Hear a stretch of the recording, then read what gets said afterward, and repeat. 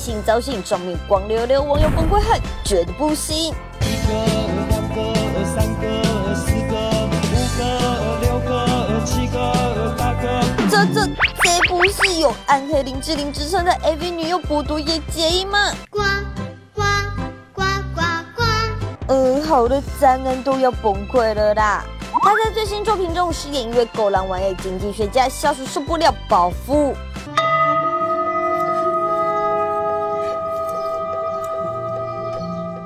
咔嚓，把他剃成光头，女生当场变失态。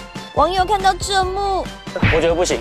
有人表示，撞脸一拳超人的体育老师，还有少林足球的阿梅。你为什么弄成跟外星人一样？你怕那回去火星吗？地球是很危险。